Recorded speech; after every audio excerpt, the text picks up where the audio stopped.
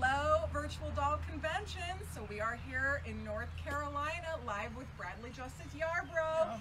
And we are so excited for our next program. It's going to be different from anything that you've ever seen or heard from Bradley, and I cannot wait. So I'm going to get behind the camera, and we're going to get in up close to all these wonderful things Bradley brought for us today. Bradley, thank you for being here. Thank you for having me, Rachel. I'm very excited to talk about um, um, what I'm going to talk about. Yeah. It's, it's um, one of the things I always tell everyone is we always take for granted that that dolls just sort of like happen, that we just kind of think that it's, you know, one day there's a doll on the toy shelf.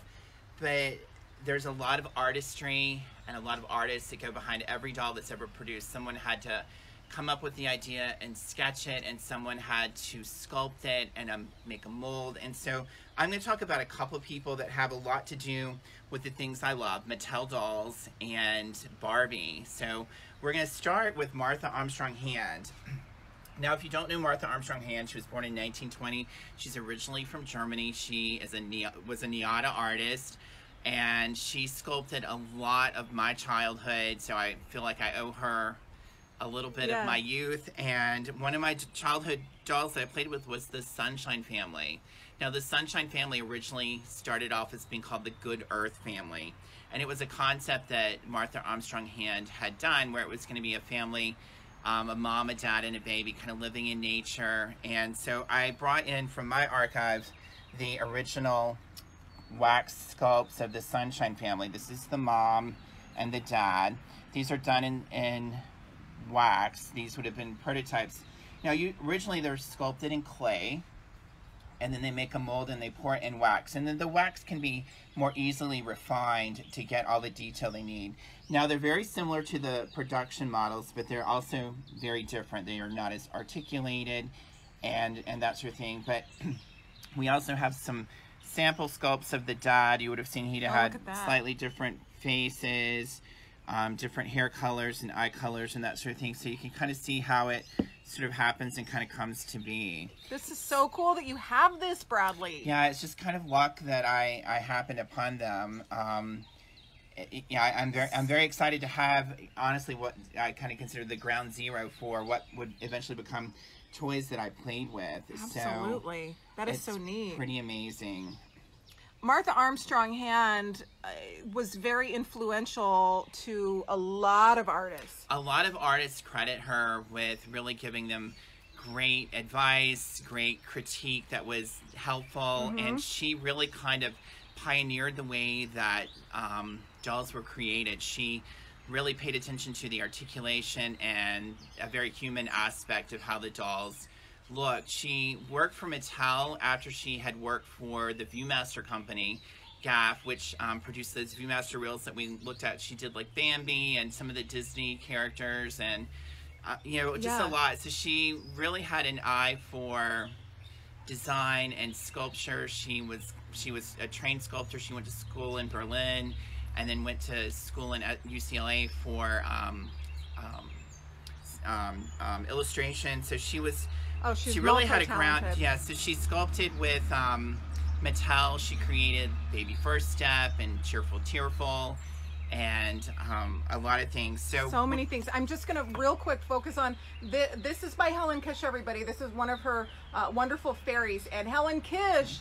Uh, was very influenced and is influenced by the work of Martha Armstrong Hand. So that's what's dangling right here. You see it in the background. We had so yeah, we Helen and I had yes. a nice conversation about Martha. Um, but before the Sunshine Family came to the fruition that we did, Martha had decided that they were going to be a larger family, and not only were they going to be a family of a long time ago, they were going to kind of be time travelers. So I was lucky enough to find this is what they were originally conceived to look like. This is the Whoa. mom and dad and baby. And um, that's totally different. So they were going to do, these are some of the storyboards they did. They were going to be a primitive transformation so these are um, illustrations that were created showing how that they would do. And there's also a baby, a sister and a brother that came along with this side. Look at that. Oh, that is so, so interesting to see. There was going to be a, what she called the brand new world transformation, which was going to be futuristic. Amazing. And um, this is the Renaissance. And they were going to work with some of the accessories and create, you know, um, animals and accessories that were, you know, just part of this. So it would have been really neat to kind of see if this had really happened. I love my childhood version, but these are really kind of cool. Yeah. So it's neat to see sometimes the prototypes and the concepts that were presented that didn't happen.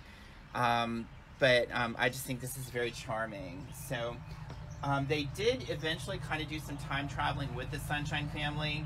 They used the dolls to create sort of like um, historical dolls, keeping in mind Sunshine Family originally premiered in, the, in 1973. So over the course of history, the United States celebrated its bicentennial, so everyone was very much into um, historical. Um, so they did um, versions of these dolls that were for the line that were just sort of, you know, sort of time. Frame they were not as as in detail. Don't think they ever created this one. I do know they created this one. So It's so fun just to lo- step back in time and see these concepts. yes, Even though they didn't come to fruition, it's just wonderful to see the concepts and the imagination that that was uh, used for Exactly. So now I'm going to tell you how Martha Armstrong Hand relates to Barbie.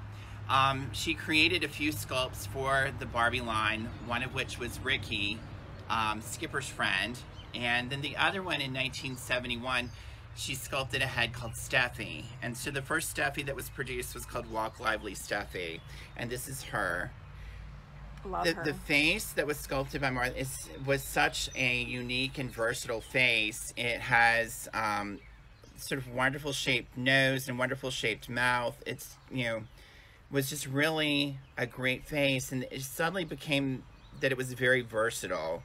Um, it would then go on to be utilized for the Hispanic Barbie.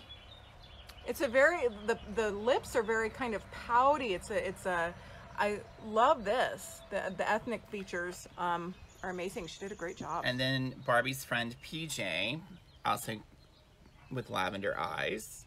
Fantastic. The lips are all the same. Yes. The face, the the head mold is the exact same head mold, but just with a little bit of different, different painting. Yeah, it just looks different. This is the Parisian Barbie wearing one of my favorite outfits, which was a European Oh, outfit.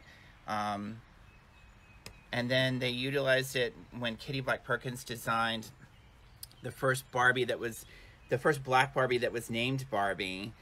Um, was designed by Kitty Black Perkins, and she's one of my favorite designers. And um, this is the same face mold, yet it utilizes the Steffi face, and I think it works. Oh, it works. That's a fabulous doll. and Love then, her outfit. oh, isn't it great? And this was one of Kitty was famous for like a transformation kind of thing. So um, the thing that's really cool about this outfit is now she's ready for poolside. She's got her wonderful sort of like um, fabulous bathing suit for underneath her. Oh, it's a it's a poolside outfit. Yeah, oh, so I thought she she was- was like going to a gala. That's, Well, she she can could. be. I mean, it was uh, Kitty created a lot of playware and uh, play value in all of her dolls.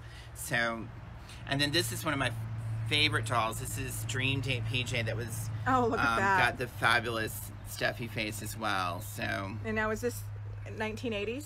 this is like 1983. Oh, it's it's so 80s and it's so fabulous. I love it. Oh, it's completely fabulous. But it's just a wonderful sort of yeah. um, use of the, the same face. So um, they still use the Steffi face mold today. So Martha Armstrong Hand is still Yeah. alive and well, at least in the Barbie world. So, but they've used it for Barbie and um, Barbie's friends. It's just and used around the world. So, Amazing. so She's um, got Martha Armstrong Hand really does have an incredible body of work. She it's her. It's just- it's isn't it amazing. It's amazing? amazing, and she worked for Mattel in the early '60s, and then she went sort of freelance. Then she came back in the early '70s. Um, she kind of traded off with the next sculptor I'm going to talk about, which is Joyce Christopher. Now, when Martha left Mattel and went freelance in '67, they hired a new sculptor who was named Joyce Christopher. And I've had the pleasure of going through Joyce Christopher's archives and kind of discovering her body of work. And through that, I discovered another piece of um, history that worked into my childhood, which was Stacey.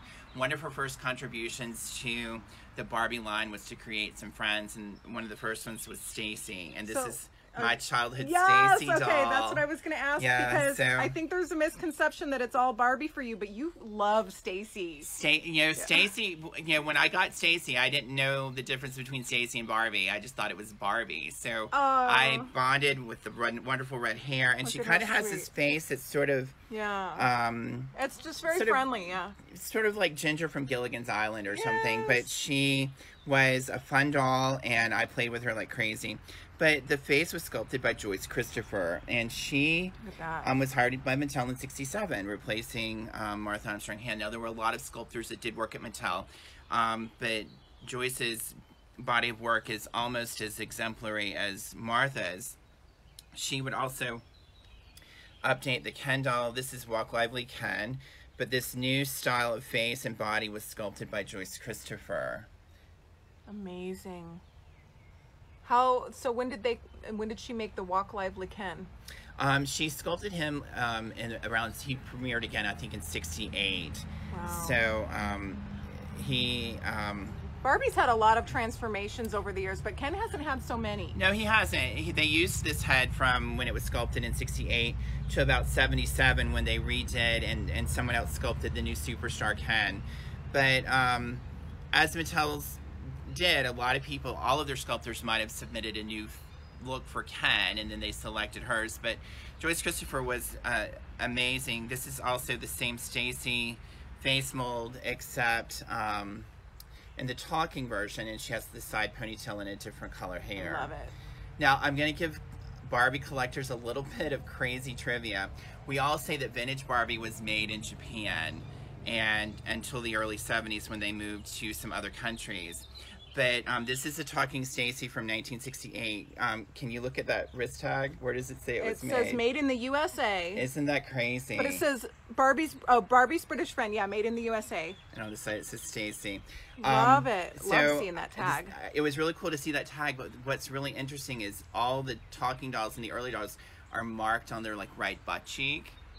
This doll has absolutely no markings, so it's kind of crazy. No markings at all. No markings at all. So then, if somebody found it, they might think it was a copy or something. Yeah, it's kind of crazy. So Wow. it's really neat to kind of make those sort of discoveries. For sure. So, so what I've discovered also going through Joyce Christopher's work and Martha Armstrong Hand's work is there are lists that they've created of what they worked on with Mattel.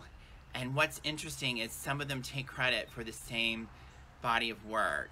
And what I've discovered is sometimes someone would start a project, but hmm. someone else would finish it, or someone would create a project, but then someone would be charged with changing it to make it different. So Martha Armstrong Hand sculpted some dolls called Rosebud Doll, which were these like seven inch plastic sort of baby dolls that had these Victorian carriages and stuff like that. Those dolls would eventually be shrunk down and sort of retooled by Joyce Christopher for a smaller version of the doll. Now this is the smaller version of the Rosebud doll. Oh, this would go on to be some little friends um, for for Barbie and um, the Heart family and that sort of thing. But this is a prototype set. This is the original doll in pieces, um, but it's sculpted in wax, so you can kind of see what it originally looked like with the whole prototype wardrobe of clothes that would have been created for the doll. And then these are like some what they call first pulls from the vinyl to show what the head would look like. Bradley, this is amazing that you have all these prototypes. This is so cool. That's like one of my favorite things. Um, to me, it's the zenith of the beginning Yes. of everything. I I love the concept, and it's just very fascinating. And it's Yeah. very hard to find this kind of stuff. Um, I was very lucky to work with a couple of former designers, some people that had worked at Mattel, um, to get some of the stuff. Some of it I paid very dearly for. Um, some of it I was lucky enough to find on eBay. Um, you know, that's a great place. And it's it's great to preserve this and to document as much about it because there are a lot of unscrupulous people who throw something out there and say, "Oh, this is a prototype," when it's the furthest thing from that. So right. you see all the little samples and like the numbers that would have been written on it for this is like the look number four, and this was like a little. Oh, look at that. But you get to So see some of the same materials that were used in other versions of Mattel product and that sort of thing. So similar fabrics. It's amazing. Such a treat for us to see this so up close too. I just love it. How awesome. How awesome.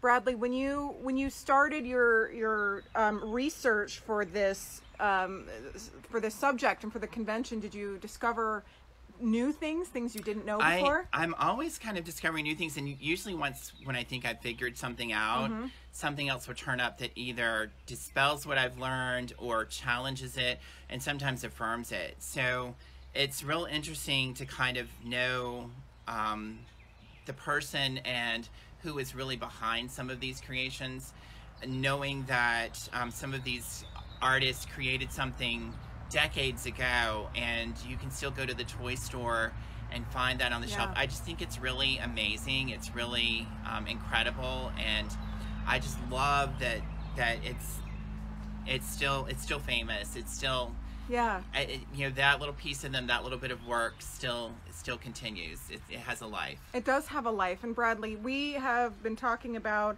artists from the past. What, what's an artist that is um, currently working that is inspirational to you in their work? Well, I, I love Helen. Helen Well, Helen, you know, has also you know helped me with some of my research because I talked to Helen about Joyce Christopher and about Martha Armstrong Hand, and then Helen has also worked with a lot of um, artists and been an inspiration for them. But I love Helen's work, and I love Helen. But she's really great. Mm-hmm. Yeah. Um, but I agree. I- There's her, the wonderful fairy up here. It is just such, it is so special. I think um, a lot of artists hide behind their work, and we don't get to hear about the artists. And also with Mattel, um, the people that were sculpting and the people working were a guarded secret. Mm-hmm. Um, they're- they they never advertised that you know the Steffi was was sculpted by Martha Armstrong Hand. It was after she left the company that she shared that information and shared what she had worked on with Mattel.